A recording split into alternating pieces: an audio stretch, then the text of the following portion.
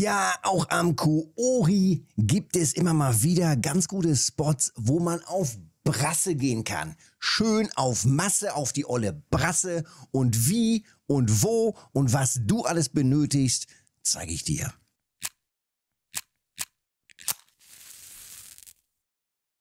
Ja, Caddy hat gestern im Livestream gepostet, dass er hier auf äh, Brasse steht, am Koori und dass es ganz gut funktioniert. Und ich bin einfach mal hierhin zum Spot und habe mir gedacht, komm, probier mal aus. Was kann man denn machen? Kriegt man hier vielleicht ein paar schöne Brocken raus? Teste doch einfach mal sämtliche Köder und Kombinationen, die es so ganz klassisch gibt. Bedeutet also, ich bin jetzt seit äh, circa 18 Uhr in den Abendstunden hier und probiere jetzt schon mal aus, welcher Köder am ehesten angenommen wird. Das ist auch immer wieder wichtig, wenn man selbst mal auf die Suche geht nach der Brasse, zum Beispiel auch an der alten Festung, dann muss man eben früh da sein, also früh in den Abendstunden, damit man in der Zeit, wo es dann wirklich dunkel ist, wo die Brasse richtig aktiv ist, dass man da eben schon genau weiß, welcher Köder funktioniert am besten.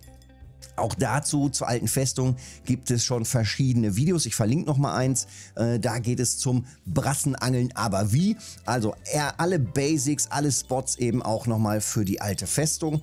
Und hier am Kuori ballern die halt auch immer wieder rein. Und hier lohnt sich das eben auch immer mal wieder, genauso wie zwischendurch auch mal am Windenbach.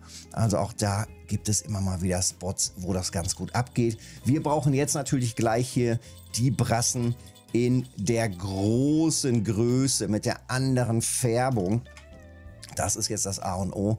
Und äh, deswegen teste ich jetzt erstmal, ähm, ja, welches Futter wird dann angenommen? Worauf gehen denn jetzt schon mal die Jungbrassen? Worauf haben die am meisten Bock? Und da muss ich sagen, momentan vom Test her fällt jetzt fast hier der Knoblauchteig raus. Und am ehesten sind wir beim Erbsenbrei, ein Klassiker, und beim Perlgraupenbrei. Und der Perlgraupenbrei ist auch einer, der ganz am Anfang schon eigentlich mit der erste, der erste Teigköder ist, den man herstellen kann.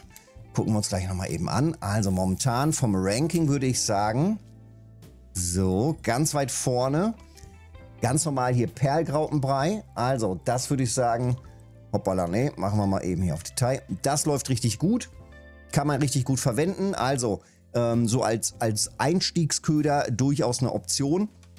Zweiter Einstiegsköder, den teste ich gerade jetzt. So, da haben wir auch schon ein Ergebnis. Da kann natürlich jetzt so einiges drauf gehen. Ähm, ist der Mistwurm. Mistwurm auch ein absoluter Klassiker, hat vor Jahren auch schon immer ganz gut funktioniert. Ähm, also muss man auf jeden Fall immer mal mittesten, ob das so gut geht. Also von daher erster Auswurf jetzt eine kleine Brasse. Gucken wir mal, ob da noch weiter was funktioniert, ob da noch mehr einsteigt. Ja, und jetzt ist natürlich wichtig, dass wir hier gleich in Richtung Abendstunden nochmal eine gute Frequenz hinkriegen. Ich stehe hier auf der Map in dieser Runde. Also das ist quasi der letzte kleine Strandabschnitt, bevor es dann da drüben in Richtung Campingplatz geht. Und hier dann auf 13 Meter geklippt gerade. Und dann gucken wir mal, wie das gleich hier aussieht in der Nacht. Einser Haken habe ich gerade erst nur verwendet. 900 Gramm, ja, passt. Einser Haken und Futtermische ist natürlich das A und O. Brassenangeln ohne Futtermesche, keine gute Idee. Wenn ein Fisch Futter braucht, dann die Brasse. Wir nehmen das Futter auch die ganze Zeit nicht runter. Wir überfüttern theoretisch die ganze Zeit. Also eine halbe Stunde in der Nacht wird einfach komplett dauerbefüttert. Und äh, trotz allem frisst die Brasse einfach alles weg. Ich gucke gerade noch mal eben in den Kescher rein. Hier war gerade eine größere schon mit dabei. So sollen die dann aussehen, hier auf Erbsenbrei. Also diese Färbung wollen wir haben und am besten dann in richtig schön dick und fett, 2-3 Kilo. Dann lohnt sich das eben auch so richtig. Ja, das ist natürlich jetzt ganz klar. Für die Abendstunden ist das durchaus realistisch, dass es eben so aussieht. Die können wir dann später ab 500 Gramm alle schön zu Fischfetzen verarbeiten. Lohnt sich also auch noch, kriegen wir also noch einen hochwertigeren Köder draus. Grundsätzlich müssen wir halt sagen, Futter, Futter, Futter, ähm, das sollte man schon skillen. Eigentlich sollte man das auch schon skillen, bevor man hier zum Koori kommt. Also im Idealfall vor Level 12 skillt man schon Futter. Wenn du dir die Tutorial-Serie angeschaut hast, 2023, auch die verlinke ich nochmal, da wird alles Stück für Stück erklärt. Wie startest du ins Game? Über den Moskitosee, über den Windenbach, zur alten Festung, wann skillt man was und so weiter. Also alle wichtigen Infos kriegst du da drin. Und äh, dann skillst du natürlich im, ja, ich sag mal, unter Level 12 eigentlich schon die Futtermische. Oha, das ist, glaube ich, jetzt hier kein, keine Brasse auf dem Mistwurm. Vielleicht nochmal ein Schuppi oder so. Gehen wir mal hart in die Bremse. So, und richtig schön nach oben. Oh, der hat Bock. Der hat Bock. So, jetzt hat er sich zu mir gedreht. Eieieiei. Tatsache. Das ist ja krass. Nehmen wir natürlich auch gerne mit. Macht auch Bock. Zwischendurch mal so einen Schuppenkarpfen beim Brassenangeln auf feinem Setup. Sehr schön. 5,8 Kilo.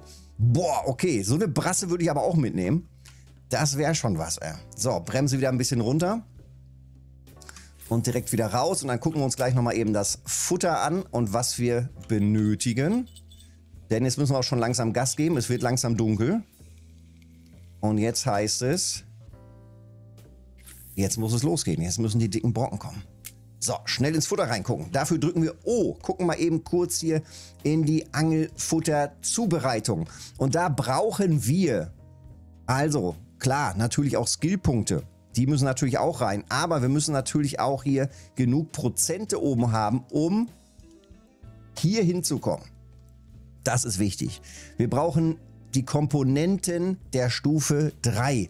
Das kriegt man ratzfatz hin. Das dauert wirklich nicht lange, ein paar Skillpunkte eben zu machen, ein paar Prozente zu machen, wenn man eben die ersten paar Futtersorten herstellt. Das heißt, du drückst einfach hier auf N, gehst auf Futtermischung und stellst dann hier unten die Standard-Futtermischen her. Äh, es geht halt los mit Rotaugen oder mit Giebel und Karauschen. Davon stellst du einfach die ersten her. Ähm, lagerst die auch einfach in den Taschen, kann man einfach herstellen, wird man eh am Anfang immer wieder verbrauchen. Und dann bist du auch ratzfatz schon auf Stufe 3 und kannst dann eben hier die Standard-Brassenfuttermische herstellen. Fliegenmade, Hirsebrei, genau Perlgraupenbasis. Deswegen klappt ja auch Perlgraupe als Köder so gut. Und dann nehmen wir hier mit dem Anisöl, das ist dann Stufe 3 eben, zack, hergestellt und haben dann eben hier die Bällchen. Ganz wichtig, wie gesagt, die Skillpunkte reinballern. Fünf Skillpunkte, damit wir hier eine Qualität haben von 9 von 10 oder 10 von 10. Also das ist dann die höchste Qualität, die wir herstellen können und die raus dann damit. Also wir wollen halt hier kein 0815 äh, schlechte Qualitätsfutter haben. Wenn wir doch hier schon stehen und es so schwierig ist, hier die Fische rauszuziehen, dann wollen wir natürlich auch alles versuchen, damit wir hier möglichst gute Fische landen. So, jetzt ist die große Frage. Es ist langsam Nacht. Wie kriegen wir massiv die Brassen? Bisher muss ich sagen, am schlechtesten abgeschnitten von allen Ködern Quarkteig, obwohl ich den, glaube ich, gleich nochmal drauf werfe. Das ist doch schon mal ganz gut. Ich glaube, das beste Ergebnis tatsächlich der Erbsenbrei. Ja, 2,2 auf Erbsenbrei. Also theoretisch jetzt sofort hierhin nur auf Erbsenbrei testen. Mistwurm nehme ich auch nochmal runter. War mir jetzt zu wenig. Ähm, Perlgraupe muss ich sagen, zu viel Beifang. Zweite Mal auch schon Schuppenkarpfen. Ähm, mm, mm, mm, Quarkteig muss ich nochmal testen. Wobei Quarkteig, ja gut, Quarkteig kann man erst ab Stufe 16 herstellen. Den Quark können wir kaufen. Da hinten an der kleinen beleuchteten Hütte, oder ist es die hier? Ich glaube, es ist die hier. Da gibt es die Molkerei und äh, da gibt es dann auch den Quark für den Quarkteig. Ja, und jetzt, wie gesagt, muss es in der Nacht eigentlich losgehen mit diesen Brassen. Wir wollen jetzt hier schön auf Masse diese Brasse Das ist das A und O, denn dann lohnt sich das auch cashmäßig. Plus es lohnt sich natürlich auch skillpunktemäßig. In den Grundangel-Skills können wir hier richtig Gas geben. Und das ist natürlich jetzt die Frage, welcher Köder liefert. Wenn ich jetzt gerade nur den einen hier drauf habe, ist natürlich klar, es bimmelt nicht so viel wie ja, dreimal den Idealköder gefunden zu haben. Das heißt, im schlimmsten Fall läuft es dann erst in der nächsten Nacht so richtig. Oder du nutzt jetzt einfach meine Testphase hier aus und verwendest gleich einfach den besten Köder. Ja, Quarkteig auch immer noch nichts. Ja, leichtes Gezuppel. Auch nochmal auf Quark. Wenn Quark jetzt gleich wieder nur eine Jungbrasse liefert, dann ist Quark auf jeden Fall raus für diese Phase. Knoblauch hat auch nicht so viel geliefert. Auch das teste ich am besten jetzt nochmal eben in der Nacht. Perlgraupe nochmal runter, tauschen zu Knoblauch. Theoretisch können die auch Honigteig nochmal testen. Passiert auch immer mal wieder, dass die, äh, dass die Brasse auf süß geht. Andererseits, wenn hier auch schon die Schuppenkarpfen sind, ist das auch nicht so abwegig, dass die Brasse, ja, oder dass dann der, der Schuppenkarpfen dann da ist. Aber nach wie vor ja, nach wie vor bestes Ergebnis, glaube ich, hier echt auf dem Erbsenbrei. Das wäre, glaube ich, Köder 1. Zack, direkt wieder raus. Und direkt aber auch Angriff hier auf dem, na guck, doch auf dem Knoblauch. War der vielleicht am Tag irgendwie nur nicht so er ergiebig. Zwei Kilo, nicht schlecht. Knoblauch und, und Erbse in der Nacht. Hier auf dem Quarkteig. Ja, Quarkteig, wie gesagt, leider, leider gar nichts. Zu wenig Reaktion drauf. Nehme ich auch direkt wieder raus. Bei der Brasse muss es einfach direkt ballern. Nonstop. Setup-mäßig übrigens. Wenn ihr mit dem Setup unterwegs seid, sowas wie im Feeder-Set Start, mit einem kleinen, feinen Vorfach, seid ihr genau richtig unterwegs. Alles richtig gemacht, voll okay. Na klar habt ihr da ein bisschen Action, irgendwann mit der Zeit einfach, einfach mal ein bisschen mehr Schnur kaufen, dass ihr mehr Meter Schnur habt auf eurem Setup. Ähm, maximal würde ich so mit ungefähr um, um die 9 Kilo reingehen. Brasse ist eher scheu. Also da nicht zu dick reingehen und denken, boah geil, Alter, ich kann jetzt hier mit 15, 20 Kilo reingehen, weil meine Route und meine Rolle das aushält. Lieber fein reingehen. Mein, mein Setup hier würde auch deutlich mehr aushalten. Also runtergehen auf einfaches, auf einfaches Setup, so um die, um die 9, vielleicht sogar eher um 7 Kilo herum. Und äh, damit ist man dann eigentlich noch besser beschäftigt und noch besser zugange. Ähm, hier an Kuori wäre auch durchaus noch mal eine Überlegung wert, hier vielleicht doch mit Fluorocarbon reinzugehen, weil Fluorocarbon eben ja so transparent ist und wir haben hier eben ein super klares Wasser im Vergleich zur alten Festung halt ein Riesenunterschied. Alte Festung ist da dann doch deutlich schlammiger. Also auch das wäre durchaus eine Option. Hier, wie gesagt, dann mit Fluorocarbon einfach reinzugehen, statt mit geflochtenem Vorfachsmaterial. Können die meisten eh wahrscheinlich eher machen als oder verwenden als eben das geflochtene Vorfachsmaterial. Also vom Ergebnis im Moment machen wir mal eben kurz einen Ranking und ich glaube, dann haben wir es auch schon.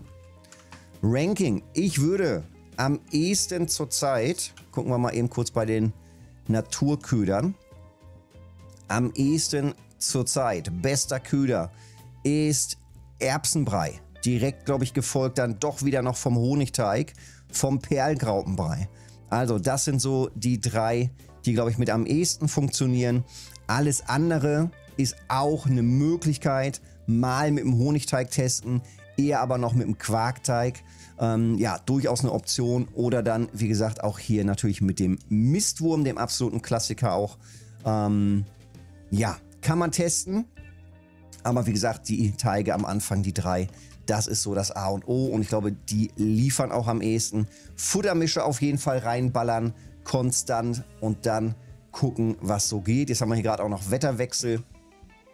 Mal gucken, ob sich das jetzt wieder auf die, äh, auf die Köder auswirkt. Also auch das kann natürlich immer wieder unterschiedlich sein mit anderem Köder, andere Vorlieben, beziehungsweise mit anderem Wetter, andere Vorlieben der Fische, also andere Köder dann wiederum testen. Ja, so viel dazu. Jetzt heißt es durchziehen noch, weiter testen. Ich probiere auch noch ein bisschen weiter und hoffe, dass ich da vielleicht doch noch wieder jetzt auch bei Regenwetter noch einen anderen Köder rauskriege. Aber so ist es ganz okay. Kann man auf jeden Fall mitmachen. Ähm, wenn von vornherein mit dem richtigen Köder, dann ballert natürlich auch noch ein bisschen mehr rein. Ich glaube hier der Test auf Knoblauch und auf Erbsenbrei das sind, glaube ich, jetzt hier für vornherein die besten Köderkombis. Ja, und dann hat man eben hier auch so ein bisschen den Nachteil am Koori. Ab 6 Uhr spätestens ist es hier wieder taghell. Und äh, an der alten Festung ist es ja durchaus noch gut fangbar. Also so 4, 5 Uhr müsste es hier, glaube ich, schon richtig hell sein. Und äh, an der alten Festung geht es dann, glaube ich, erst so gegen 7 Uhr wird es dann langsam heller. Also man hat an der alten Festung längere Fangphasen für die Brasse aber hier dann die Möglichkeit, viele Fischfetzen herzustellen. So viel nochmal ganz kurz zur Brasse. Brasse am Koori. Wenn es dir geholfen hat, Daumen da lassen, Kanal abonnieren nicht vergessen, hilft mir. Und dann sehen wir uns im nächsten Video oder im Livestream, montags, mittwochs und freitags immer ab 19 Uhr. Petri.